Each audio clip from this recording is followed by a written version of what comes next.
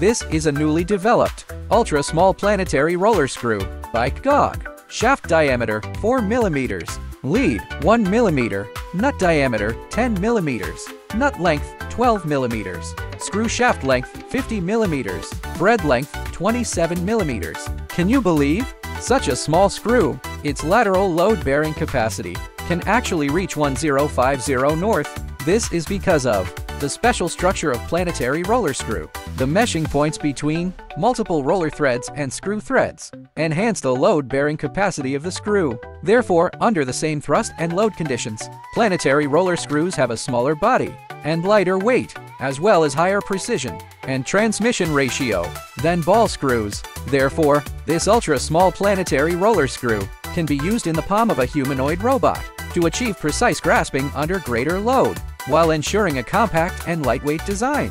KGG possesses strong R&D capabilities and advanced production equipment, providing various specifications of planetary roller screws for domestic humanoid robots, automotive manufacturing, unmanned aerial vehicle technology, industrial machine tool, stamping and die casting equipment, etc. Its shaft diameter ranges from 4 mm to 125 mm. There are four precision grades available, G1, G3, G5, G7, which enable micron-level precise positioning. Direct message us if you need anything.